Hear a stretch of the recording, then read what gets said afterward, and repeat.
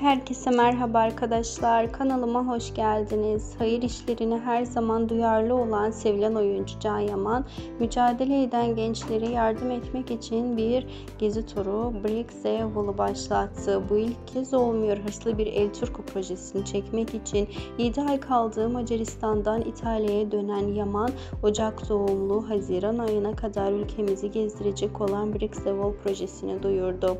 Can Yaman Çocuklar için derneği ile geçmişte çoğunlukla çocuklara saygı duyulan önemli projelere hayat vermişti.